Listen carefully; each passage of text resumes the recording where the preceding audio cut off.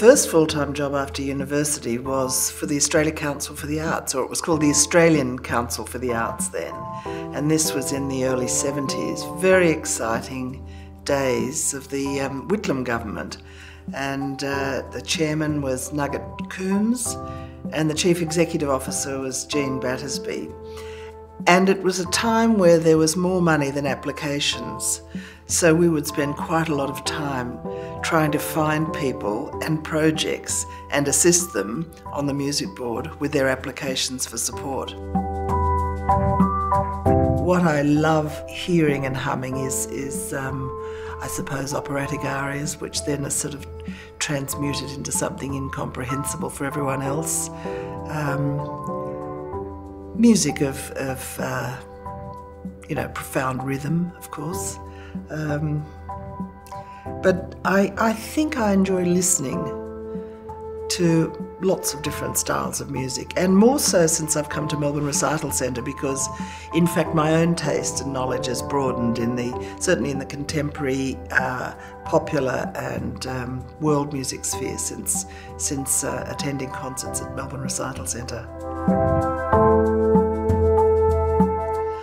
Been fortunate in that I've had several. Uh, there weren't any courses in arts management or arts and business when I was um, when I'd graduated from university. So I left with a music and drama degree, and frankly learnt on the job. And uh, it was a great opportunity to to experience and to witness and to work with fantastic people, starting from Jean Battersby and Nugget Coombs at the Australia Council to Donald McDonald and Ken Tribe at Musica Viva, and then various colleagues and artists um, over the years, conductors, directors, um, actors, performers, with whom I've had the great pleasure and privilege to work. You cannot overestimate what how important communication is and how important um, telling people in different ways what the vision of the organisation or uh, what its priorities are, and you can't assume that people can read your mind. And I haven't found that technology has improved this one bit because you can write emails, you can write in the way that we used to write faxes, you can send telexes or you can send an SMS, but it doesn't assume that people read and or absorb. So somehow being able to cut through uh, the mess or the plethora of information that's around to make sure that people understand what's going on and what the priorities are um, is still the biggest challenge, I think, of management. I think it's very important to keep alert and aware of what's going on and preferably to see as much of what's going on. It is important, I think, to network, although it's a hideous word uh, and it sounds so calculated, but I have found since moving to Melbourne, which was not my hometown, that in fact uh, being able to go out and meet people and join uh, or speak at organisations uh, about Melbourne Recital Centre was an opportunity for me to make networks because I didn't have them in place uh, when I came down here. And it is a city that um, has very passionate supporters.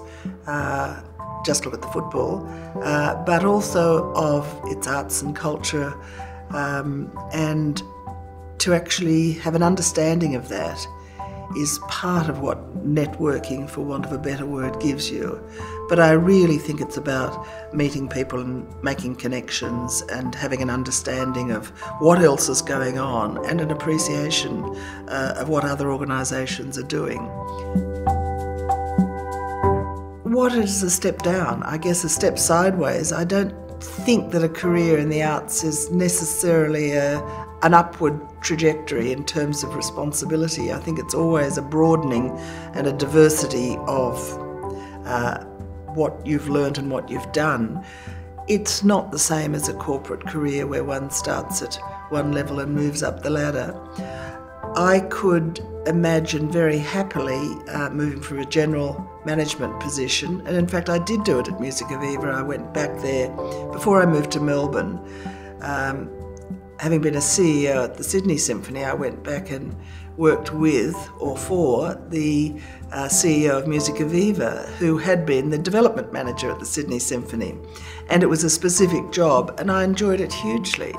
So, if you thought that was a step backwards, yes, it was worthwhile doing because I got a chance to focus on one specific area of work rather than having to do as a general manager what you need to do, which is to be across everything, and, and you get very little um, time to do the work in the areas that are fun to play with.